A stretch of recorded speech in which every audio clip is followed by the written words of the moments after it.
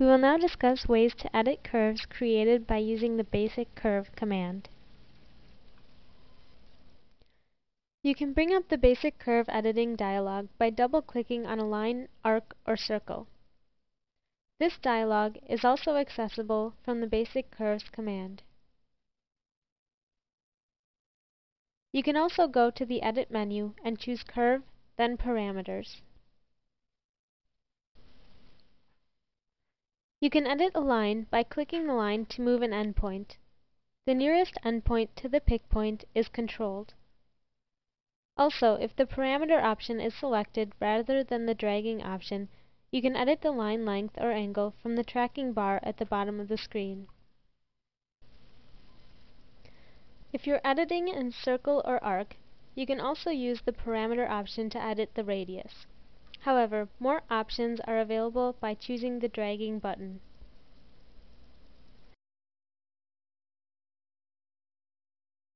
At endpoint along the arc. If a point along the arc is picked, it can be used to drag the radius.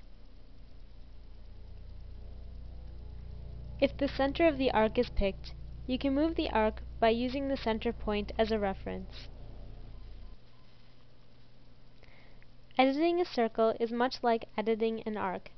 Picking a point on the circle will drag the diameter, while picking the center point allows you to translate the circle. Picking a control point, which is located at the 3 o'clock position, will allow you to drag the endpoint, essentially turning the circle into an arc. We will now look at commands for trimming and extending curves. You can use bodies, faces, points, curves, edges, datum planes, and datum axes as bounding objects when trimming a curve. However, you cannot trim bodies, sheet bodies, or solid bodies. The trim command can be opened by going to the Edit menu and choosing Edit, Curve, Trim. The trim command is fairly complex as it also serves as the extend command. Here's an overview of the trim command in the dialog box. In the Trim Curve dialog box, you are first prompted to select the object you want to trim. You can use the filter in the dialog box to help you select certain objects. Selecting the single selection box will make the command auto automatically go to bounding objects after one trim object is selected. Unselect this box to, to be able to choose multiple trim objects. You must then select your first bounding object, which will serve as the boundary where the curve will be cut. You can then select your second trim boundary, or, if you want only one trim boundary, simply choose OK after the first boundary is selected. For a circle, if only one bounding object is selected, the trim will, be, will select the point at 3 o'clock as the second point to trim to. For an arc, the second point will be the endpoint nearest to the pick point. Another way to use trim is to switch the selection steps so that you can choose the bounding objects first. This way, once you choose the, the string you want to be trimmed, the object will be trimmed as soon as you click it.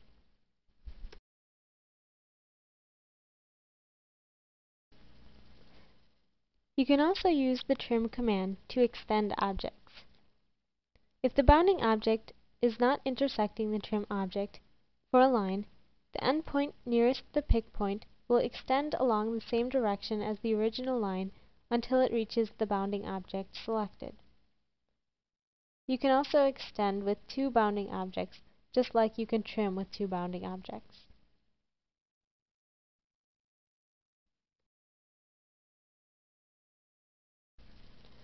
For an arc, you can extend along the arc using the same radius and center point as the original arc. The bounding object does not have to intersect the arc path. The arc will extend until it reaches the intersection of an imaginary line following the direction of the chosen bounding object.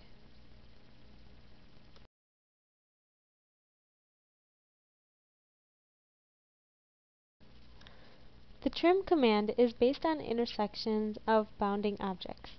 The default method for finding these intersections is relative to WCS.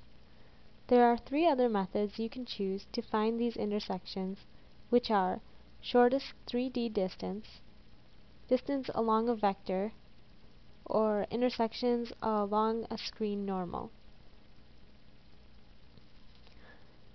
If you choose to create intersections along a vector, you'll have one more step before you can do your trim.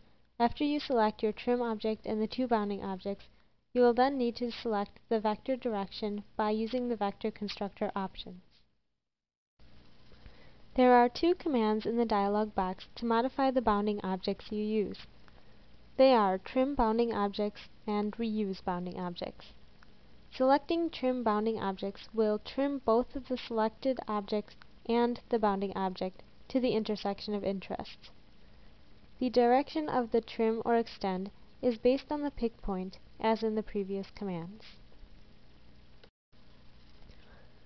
Selecting the Reuse Bounding Objects command keeps the bounding objects selected after a trim has been applied so that you do not have to select them again if you want to trim additional strings using those same bounding objects. There is also a command labeled associative output.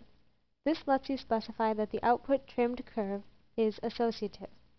An associative trim results in the creation of a trim curve feature, which is a duplicate associative trimmed copy of the original curve. This will appear as a dashed line on the screen.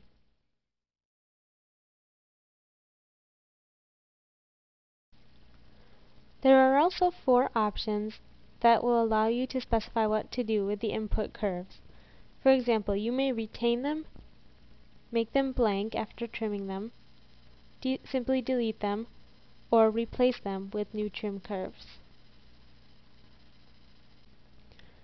Choosing the option Confirm upon apply lets you preview the results of the trim to accept or modify them before applying the command. There is also a Trim Corner command, which can be accessed through the Edit Curve menu. When using this command, simply place the cursor over a corner of two or more curves. There must be at least two curves. The corner will then be trimmed on the side where there is a majority of the cursor. Note that you can easily undo this command by choosing the Undo option in the dialog box. Another useful command for editing curves is the divide command. This command is located in the Edit menu by going to Edit, Curve, Divide. This command has five methods for dividing a curve. The first method allows you to divide the curve into equal segments. For this method, you must first select the curve you wish to divide, then specify the equal parameter or equal arc length. The parameter divides by parameters of a certain kind of curve, while the arc length divides the curve into equal lengths. You must then simply specify the number of segments you wish to divide into. The second method for dividing a curve is to select bounding objects. For this method, you must first select the curve to divide, then select bounding objects. Finally, you must select an appropriate intersection point where the bounding object and the curve intersect. The computer will find the exact point of intersection and divide the curve there. You can use multiple bounding objects during the same command to split the curve into more than two pieces. The third option for dividing curves is to input arc lengths of the segments. For this option you must first select the curve you wish to divide, and then simply specify the length of the divided curves.